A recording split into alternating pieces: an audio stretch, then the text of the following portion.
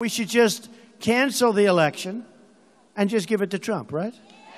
What are we even having it for? What are we having it for? Republican presidential nominee Donald Trump was attending a campaign event in Ohio Thursday when he suggested the election should be canceled.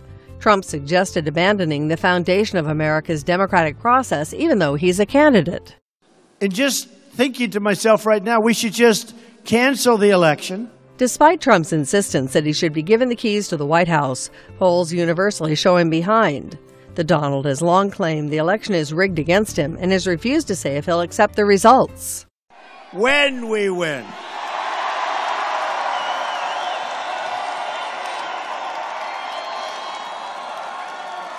There's a lot of good energy in Ohio, that I can tell.